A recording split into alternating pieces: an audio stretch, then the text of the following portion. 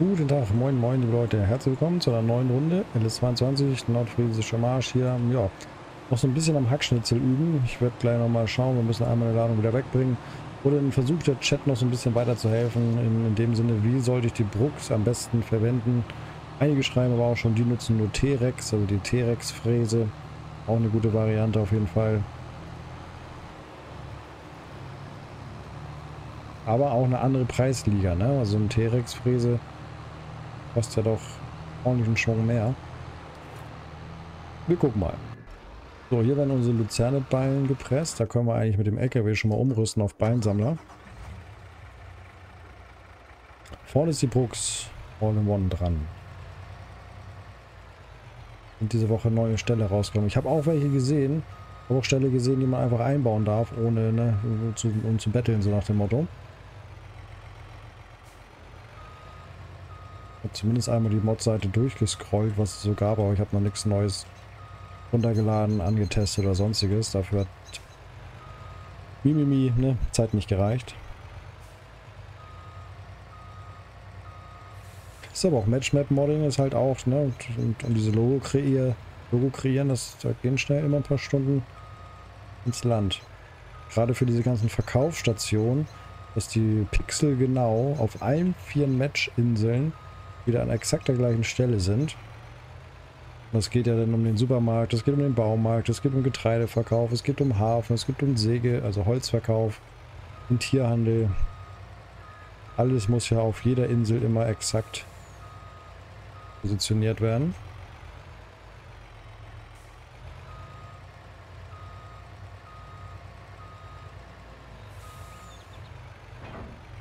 Aber ich glaube, damit bin ich fertig. Kann natürlich sein, dass später da noch was auftaucht. Ach, das fehlt ja noch. Kann durchaus passieren, aber gut. Und dann war natürlich auch, dass diese kaufbaren Flächen, dass die kaufbaren Flächen auch in der Mitte, in der Mitte wird es in Zukunft, äh, bisher gab es glaube ich vier große Felder. In Zukunft sind es zwölf Felder, wobei ich sag mal acht normal groß sind und vier eben sehr groß.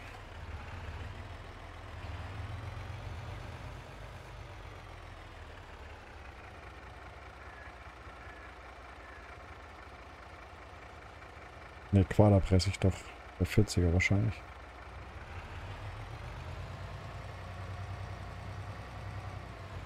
Also ich werde keinen Kuhstall mit Roboter modden. Da werde ich eher auch auf den Mod zurückgreifen, weil ich es zeitlich gar nicht, kann ich nicht. Und muss auch nicht. Dafür gibt es schon andere gute Mods, wie gesagt, gerade auch diese Holländer. Die gefallen mir so vom Typ sehr gut. Die fallen, passen eben auch in den norddeutschen Baustil. Und ja, solche finde ich schon schick und wow. Und das finde ich, warum nicht? Nichts gegen einzuwenden.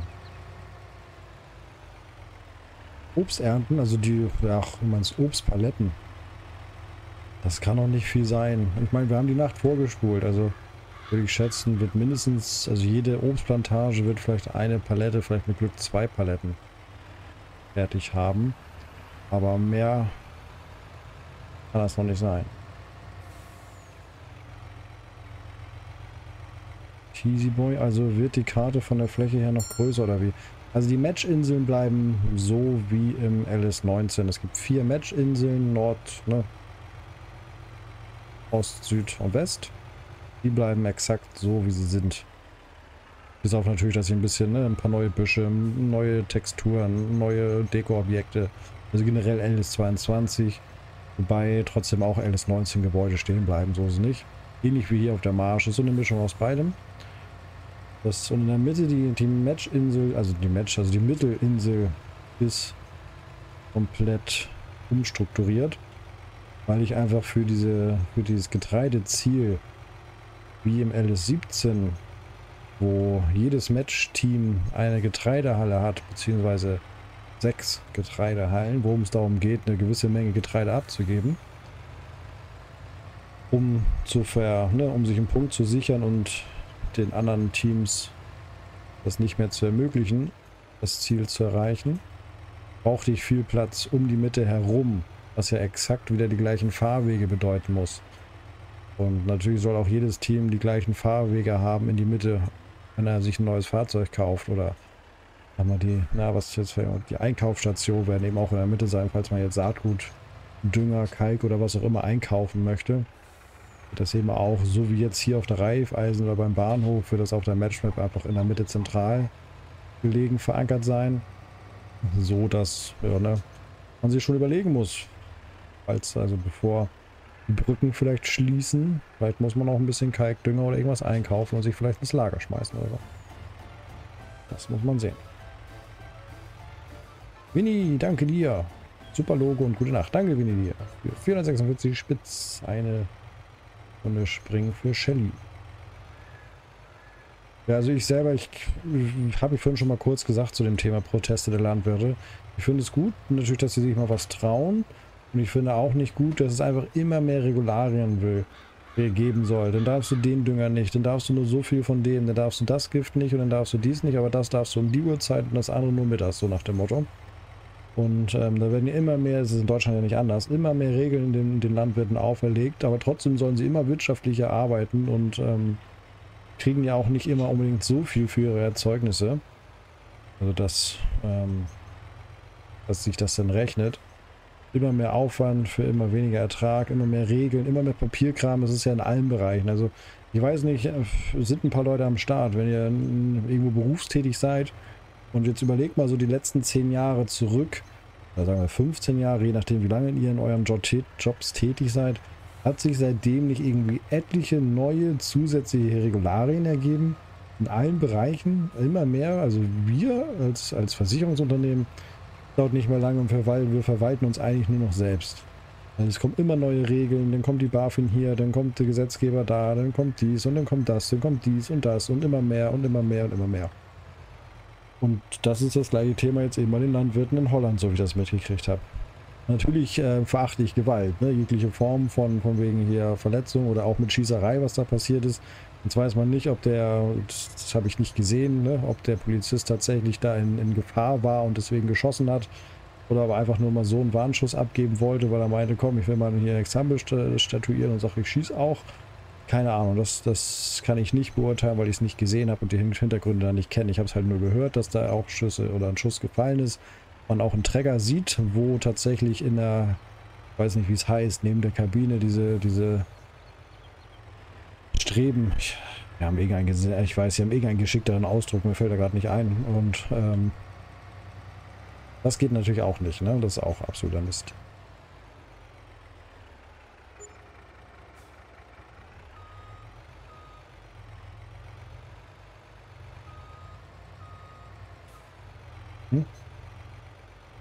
War die Katze in Ruhe. Oh, mach doch, genau. Also es wird dann auch noch irgendwann Shirts mit der Katze. Shelly so, oh, tolle Idee. Ich mache die Fotos von der Katze und mache wahrscheinlich T-Shirts mit der Katze fertig dann. So. B-Säule, ja danke. Oder auch der Holm, B-Säule, wie auch, aber so in die Richtung, ihr wisst, was ich meine.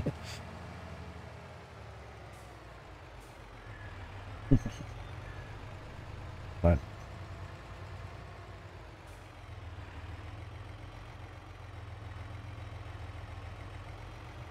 Aber das ist ja dann in 10 Stunden krass. Ich arbeite in der Woche 25 Stunden, ne? Und das an drei Tagen, also kann man sich ausrechnen, dass ich vielleicht irgendwie 8,5 Stunden pro Tag arbeite. Ich arbeite auch gerne meinen Tag nur 6 Stunden, das heißt natürlich an den anderen Tagen muss ich dann ein bisschen wieder einholen. Ganz einfache Rechnung. Oder einen Tag mehr arbeiten.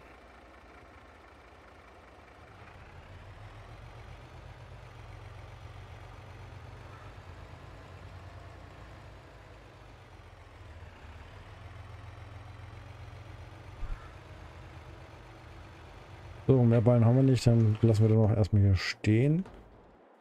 Ja, der kann eigentlich vielleicht noch netterweise auch die letzten Meter mitmähen.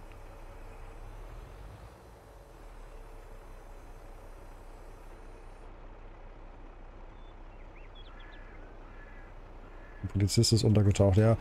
Da muss man ja auch nichts vormachen, die decken sich im Zweifel auch gegenseitig. Man sieht ja auch dieses teilweise ja, ne,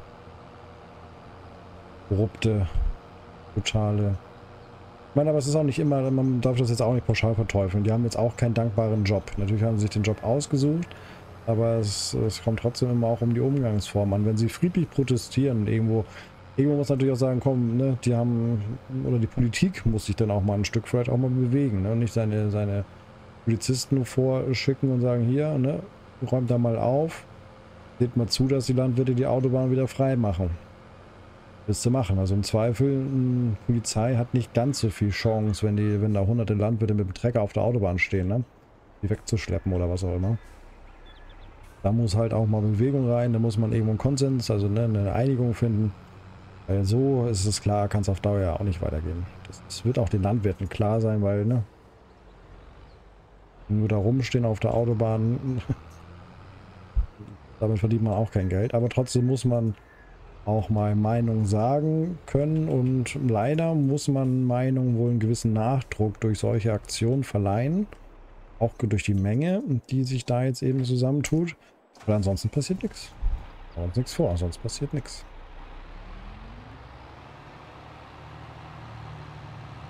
Ah, bald kommt 42-Stunden-Woche. Ja, wir sollen ja alle Überstunden machen, damit wir den Krieg finanzieren, ne? Oder die Inflation oder so. Hm.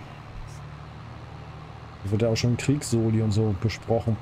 Mal schauen, was alles auf uns zukommt. Wir sind alle natürlich, es ist die Situation generell, machen wir uns auch nichts vor, ist natürlich pauschal Mist, ne? Das ist ganz klar. Das haben wir uns aber nicht ausgesucht. Das hat sich irgendjemand ausgesucht, der meint, er muss ein Großreich erstellen, aller, aller, ne, aller 1940. Und ja, ne, das ist, also die, die Preisbörsen drehen durch, gasmäßig und so weiter und so fort. Das ist alles nicht so einfach. Hast du mehr Geld bekommen? Ich kriege jedes Mal ja mehr Geld. Aber ich sage gerne nochmal, ich habe keine Vollzeitstelle. Also dementsprechend natürlich auch nicht übermäßig viel mehr Geld, logischerweise.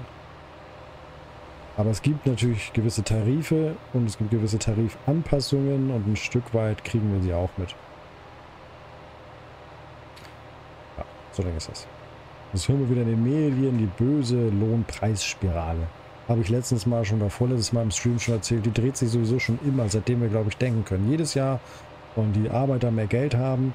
Jedes Jahr werden dadurch Produkte teurer, was zur Folge hat, dass Produkte teurer eingekauft werden. Heißt, jeder will wieder mehr Geld haben, weil er ja teurer einkaufen muss. Und diese, diese, diese Lohnpreisspirale dreht sich schon wahrscheinlich seitdem Menschen denken können. Nur das ist jetzt wieder gerne aufgenommen in den Nachrichten und in den Medien, um ein bisschen Angst zu scheffeln und zu sagen, hier, nee Leute, ihr sollt aber bloß nicht mehr verdienen und ihr müsst damit leben, dass wir jetzt alle Wohlstand verlieren. Aber ich meine, besser das, als kein Haus mehr zu haben ne? oder, oder flüchten zu müssen.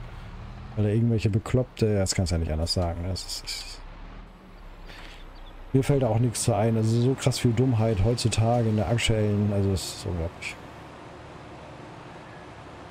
Unglaublich.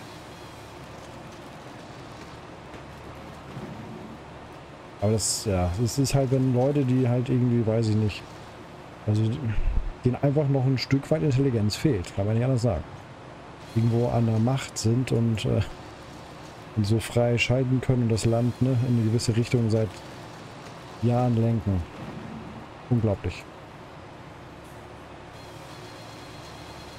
Six, six, six. Vielleicht mal aufmachen da hinten.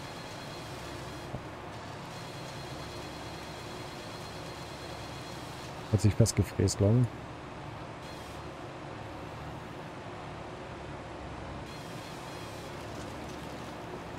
Ja, es geht ein bisschen besser, ne? Wenn ich ein bisschen tiefer ansetze und die wegfräse, dann kann man... Das war ein ganz guter Trick. Also man hat da so einen gewissen Punkt. Also hier hört man, fräst er sich komisch. Ähnlich. Da passiert nichts. Die richtige Höhe muss ich wahrscheinlich noch rausfinden, aber dann kann man den hochnehmen und kann rüberfahren und der ist komplett weggefräst, so wie soll. 42 Stunden, also wir sollen ja alle Über Überstunden machen, um halt die Inflation damit aufzufedern. Das ist aber auch eine Milchmädchenrechnung, macht irgendwie wenig Sinn, aber es ist ach, egal. Ich fräse lieber ein paar Bäume.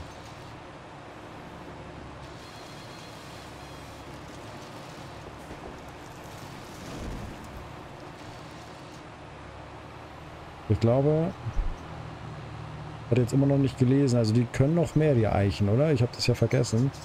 Also 20.000 bringt mir eine Eiche. Aber konnten die irgendwie nicht 28.000 oder waren das jetzt mit 20.000? Die Ulme konnte knapp 30.000, also diese amerikanischen Bäume, die wir da gepflanzt haben. Da mal frohes Modden noch.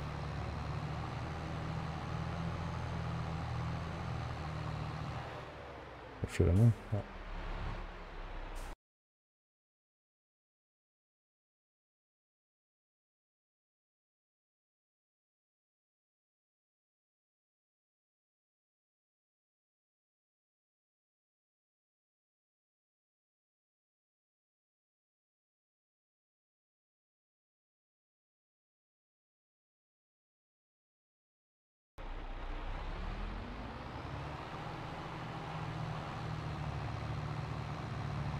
Nee, also 400, ja, also 400 Euro pro Monat mehr kosten. Es kommt ja immer darauf an, wo kommt man her, wo, wo geht das Ganze hin und äh, wie viel verbraucht man. Generell finde ich es gar nicht verkehrt, dass man sich mal zwischendurch Gedanken macht, mal bei der Arbeit vielleicht, wenn man das auch in den Büros teilweise bei uns auch sieht, die Leute laufen einfach hin, machen morgens Licht an und dann ist überhaupt gar keiner im Büro über Stunden und irgendwie Stunden später kommt mal einer so ungefähr, aber Hauptsache die ganze Zeit war Licht an. Da denkt man sich auch, okay, komm, ist, ist anders sinnvoll, ne? Und ja, wenn da jeder so ein bisschen drauf achtet. Aber krass, also die ersten großen ne, Mietwohnungsanbieter werden sozusagen, oder ist es jetzt ja schon, ne, regulieren Warmwasser. Es gibt nur noch zu gewissen Uhrzeiten Warmwasser. Und wenn du halt nicht gerade zu dieser Uhrzeit passt, dann hast du Pech. Ne? Dann musst du halt kalt duschen. Dann werden bei den ersten großen Wohnungsanbietern nachts die Heizung pauschal runterreguliert. Dass da nachts nicht so viel geheizt wird. Was natürlich, klar, ein Stück weit Sinn macht, gerade im Sommer sowieso. Braucht man jetzt nicht eben seine Heizung auf 20 haben, damit sie nochmal anspringt. Aber der Winter wird kommen und es wird, wird, wird kein Spaß werden. Aber pff, soziale Unruhen in Anführungsstrichen, was will man machen? Also wir werden alle ein Stück in den sauren Apfel beißen müssen und den teilen wir uns in Anführungsstrichen. Weil ähm, das gibt keine Patentlösung und leider haben die Deutschen es verschlafen, aber auch, weil man eigentlich nicht so extrem tatsächlich, wo man konnte, ja, was, kann man wieder diskutieren, konnte man damit rechnen, musste man damit rechnen, dass sowas noch passiert heutzutage. Man hätte sich nicht so abhängig machen sollen von, von einer Energiequelle. Also, ja, es ist, wie man machen. Wie es ist.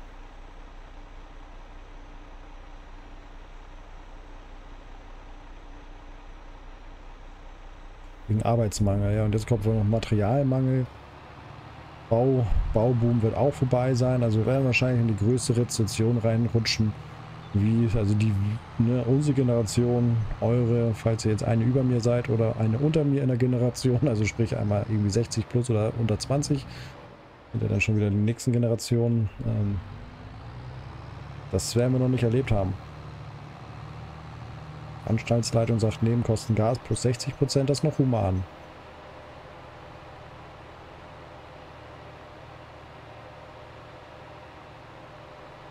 Auch das ist nicht unerheblich, ne? Das ist ganz klar, wenn man vorher 200 Euro bezahlt hat, war man jetzt einfach mir ein Haus und so und so viel.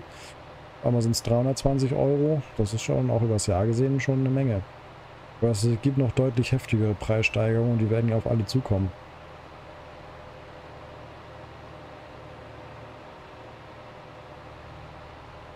So, eine Ladung, würde ich sagen, Hackschnitzel holen wir noch. Dann hat das, ich sehe es jetzt leider oben nicht, aber ich werde auch beim nächsten Mal das hoffentlich eingestellt haben und dran denken. Am Samstagabend ja schon ist der nächste Livestream. Aus Livestream-Sicht, liebe Leute. Aus YouTube-Sicht ist schon Samstagabend vorbei, ne? Muss man ja immer noch mal erwähnen. Sonst führt es zur Verwirrung.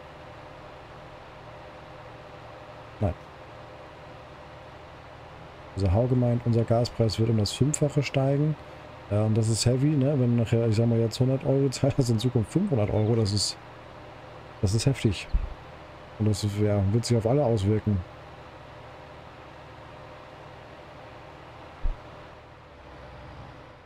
In welcher Form auch immer, werden natürlich die Rufe dann auch nach irgendwelchen Hilfen groß. Aber eins ist auch klar, man wird nicht alles komplett auffedern können.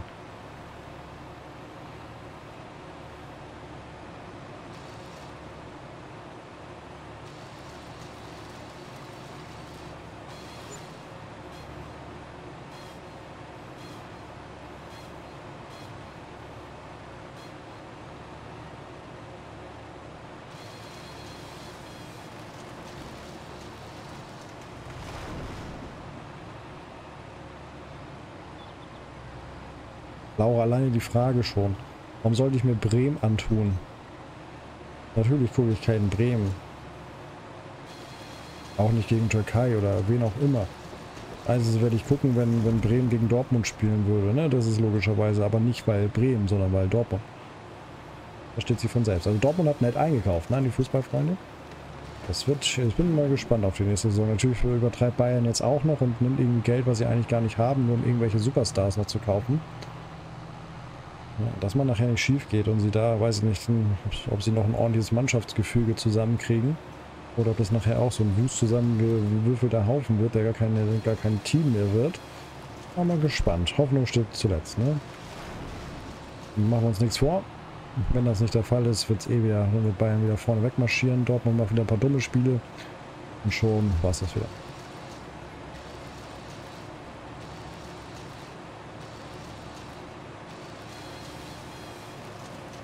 Klar. Wird bei einigen gleich bleiben, auch gleich bleiben müssen. Noch sind wir im Boom, aber der Boom endet je, oder wie heißt das so schön?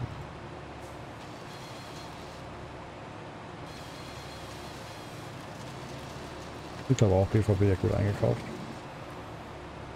Unser guter Schlotti.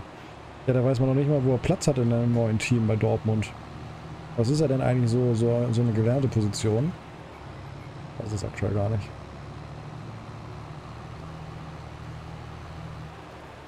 Nimmst du hier im Stream auch Fehlermeldungen? Also Streamfehler, also man kann ruhig eine Fehlermeldung mal reinhauen, aber manchmal erübrigt sich das dann schon während des Streams, ohne dass ich jetzt noch eine Mail kriegen muss.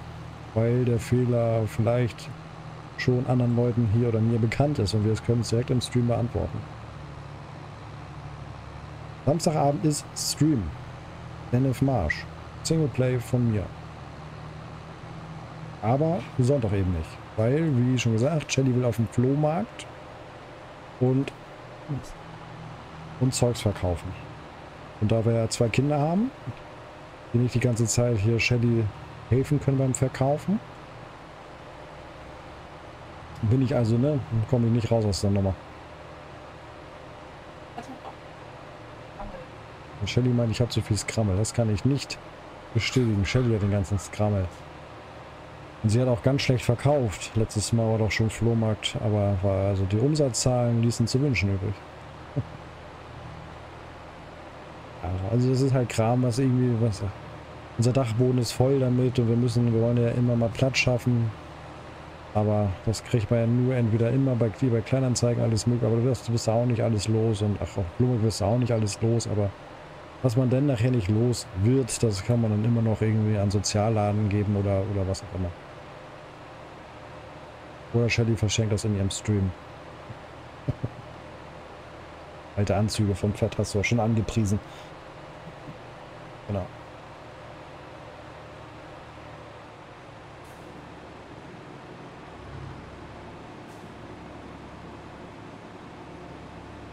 Samstag, der 17.09.22 ist Derby-Zeit.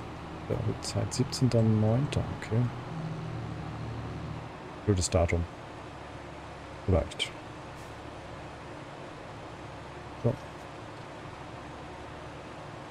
Äh, Bahnromantik. Ja, ich gehe am Samstag auf den Flohmarkt. Ich brauche zwar nichts, aber hingehen tue ich trotzdem. Ja, dann kauft man sich neuen Skrammel. Ne? So ein Ding ist das. Leute.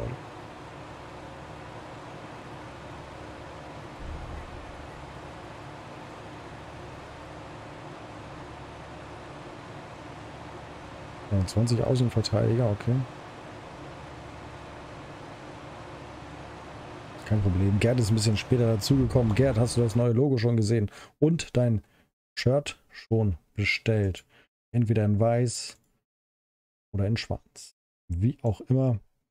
Könnt euch Fanshop, Ausrufezeichen Fanshop und dann stellt euch gerne, kreiert was, seid kreativ, bestellt was. Vielen Dank für den Support. Werbung, Achtung, kurze Pause, gleich geht's weiter. Und tschüss.